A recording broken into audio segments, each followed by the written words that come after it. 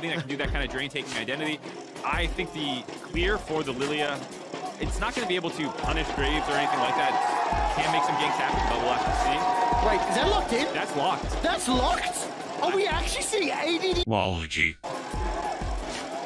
Mark, We must be. that is a thing. That is happening.